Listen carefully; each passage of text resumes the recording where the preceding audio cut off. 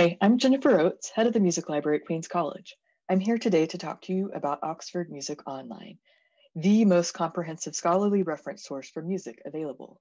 I recommend you use it instead of Wikipedia. To access Oxford Music Online, you can get to it from the Music Library Research Guide. You can simply Google Music Library Research Guide and you should get here. There's a link here in the quick tips and also in the A to Z links down here. You can also go to the Queens College Library homepage. Just Google Queens College Library and you'll come here and just click on the Find Databases quick link.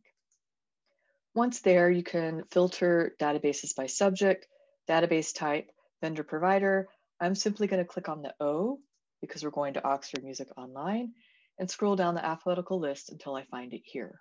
So to get to this, I'm simply going to click on Oxford Music Online and it will take me directly to Oxford Music Online.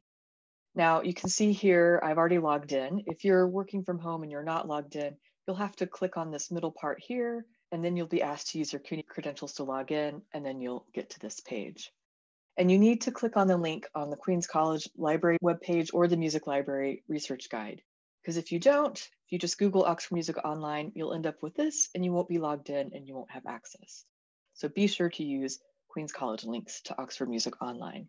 So I'm going to start just using the search box and I'm going to look for Barbara Strozzi, who is a Baroque composer from Italy, very interesting composer.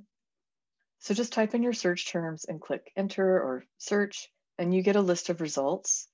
So we have Barbara Strozzi, Giulio Strozzi, who is her father, and some other related articles. You can filter by biographical article, family article, article type, and place and other things. But we know we want Barbara Strozzi, so I'm just going to click here and we'll go straight to the article.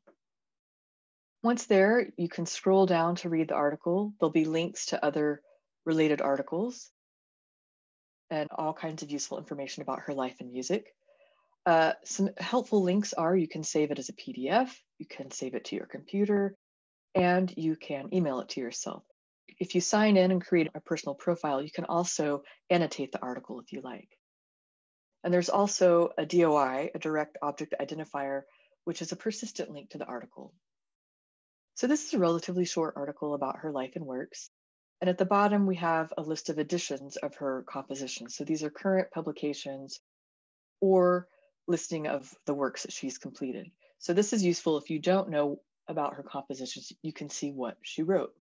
And there also are some links to bibliographical resources click on these links or scroll through to see what you want. Now, if you're doing a search for a composer for which there's much more scholarship available on, like Beethoven, things are a little bit different. So I'm just going to type in Beethoven.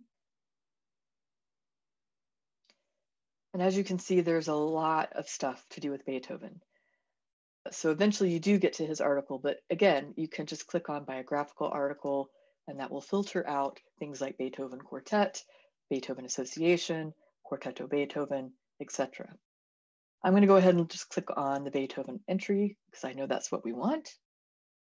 And you get to this article, which is much longer than the one for Barbara Strozzi.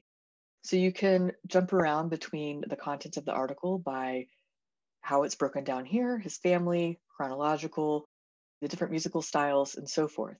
You can also jump directly down to his works list, as well as the bibliography which is also broken down into further parts that you can click the links here, and the same for works.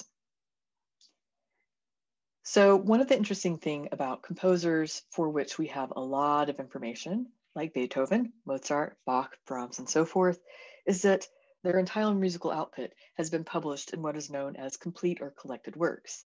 These live in the reference section of the music library in the M3s. Now the trick is there are multiple volumes and it's hard to find compositions within these. But the works list here on Oxford Music Online will tell you exactly where to find them. So we've got the complete works of Beethoven from 1862, which is abbreviated as GA. And we also have the revised collected works of Beethoven called the Neue Ausgabe, abbreviated NA, that was began in 1961. So those are important. And if you look down here, we can see that Symphony number one is in Series 1, Volume 1 of the 19th century complete works, and that it's also Series 1, Volume 1 of the Neue Ausgabe, started in 1961. And this is something you can use for any composer who has a collected works published and listed in Oxford Music Online. So that's a quick guide to using Oxford Music Online. If you have questions, feel free to email the Music Library. We are here to help and we wish you well in your research. Thank you.